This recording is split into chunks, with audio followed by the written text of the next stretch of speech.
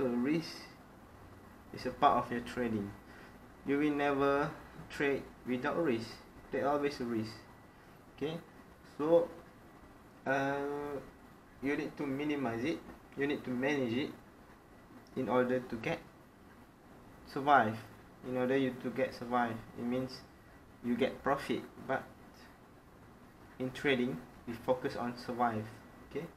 Because of 90% trader not survive because of the risk. Okay? So don't take this for granted because risk is something important from uh, in your trading. Okay? I hope you enjoy this uh, a little a little video.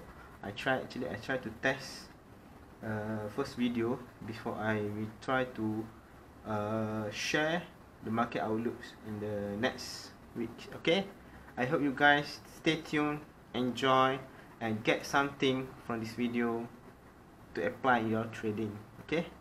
Uh, if you have something to ask to comment uh, don't hesitate. Please you can personal message me or you can ask in the comment okay? Thank you and hope you enjoy your weekend. Thank you. Bye